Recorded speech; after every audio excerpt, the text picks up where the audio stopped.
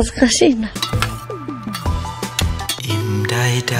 ๆ โลกนี้ไม่มีเทียบเทียม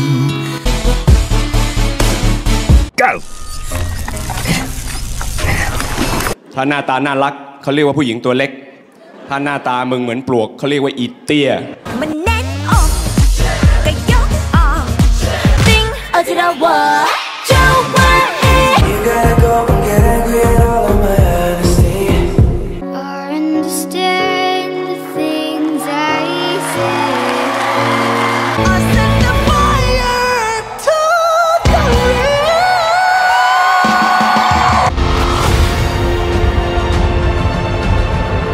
สิ่งมีชีวิตต่างก็ปรับตัวให้อยู่รอด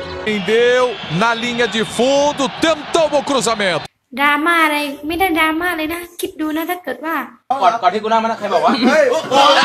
เราจะทำไม เออ มึงจะทำไมอะ เราจะเฮียทำไมจะอะเอาไง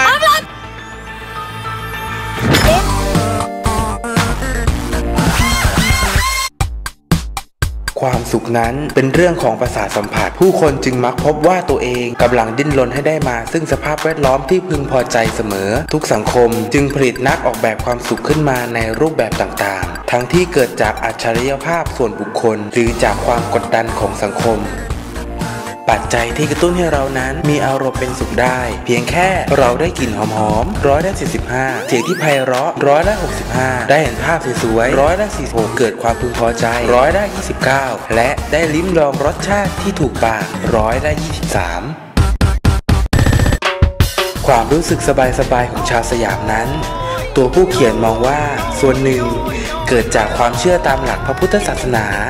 ที่สอนให้มองโลกในแง่ดี พยายามมองหาจุดสมดุลของชีวิต และหลีกเลี่ยงการเผชิญหน้า จนส่งผลให้สังคมไทย เป็นสังคมที่เต็มไปด้วยความอบอุ่น การเอาใจใส่ดูแล มีอารมณ์ชวนหัวเราะ ด้วยความวุ่นวาย แต่ก็แฝงไปด้วยความรู้สึกที่แปลกใหม่ จนเมืองสยาม เป็นประเทศที่ไม่ว่าใครก็ตามที่มาพักผ่อน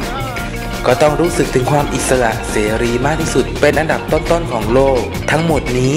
จะเป็นความภาคภูมิใจหรือความเคยชินของคนไทย แต่อย่างน้อยมันก็เปี่ยมเสน่ห์และมีมุมมองให้มากพอ ที่ทำให้ฝรั่งคนหนึ่งนำมาเขียนเป็นหนังสือขายดีติดอันดับได้ ผมไปดูคลิปจระเข้มันลิงก์ถึงกันนะฮะ ลิงก์มันไปเจอคนหนึ่งมันไปปั้มกับจระเข้มันเป็นรายการทาง Discovery นะครับ แบร์ กริลส์ทำรายการ Man vs Wild ขณะนี้ผมอยู่ในบึงน้ำเอเวอร์เกลดส์รัฐฟลอริดา โอ้โอ้โอ้นั่นไงมัน โอ้นั่นไงมัน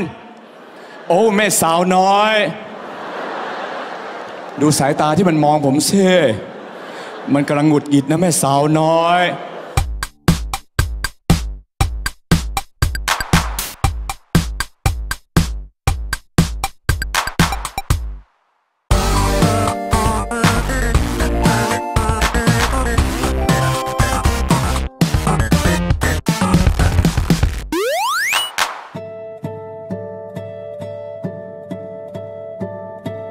แรงสะเทือนใจ บางครั้ง แรงบันดาลใจมันเป็นมวลความรู้สึก บางทีไม่ใช่ว่าฟังเพลงแล้ว อยากแต่งเพลง ดูหนังแล้วอยากไปทำหนัง มันมาปนปนๆกันอยู่ในตัว ฟังเพลงแล้วอาจจะมีไฟลุกขึ้นมาเก็บกวาดบ้านก็ได้ แรงบันดาลใจสำหรับผมคืออะไรบางอย่างก็ได้ ที่ก่อเกิดความสะเทือนใจจนเกิดประโยคหนึ่งดังขึ้นในหัว อย่างนี้ก็มีด้วยหรอคำคำนี้มันจะพาเราออกจากความคุ้นเคยเดิมๆ ไปสู่พื้นที่ใหม่ๆสำหรับผมมันจะปนปนๆกันมา เป็นพลังงานรวมๆเหมือนพลังงานแสงอาทิตย์ แล้วจะแปลไปทำอะไรอย่างอื่นก็ค่อยว่ากันไป มันอยู่ในเพลง ในหนังสือ ในภาพยนตร์ หนังโฆษณา ในอาหาร ในแฟชั่น ในข้าวของเครื่องใช้เล็กๆน้อยๆหรือการสนทนากับใครสักคน มันก็จะเกิดความสะเทือนใจ และมันจะอธิบายค่อนข้างยาก แล้วคุณล่ะคิดว่าความสุขนั้นอยู่ที่ไหน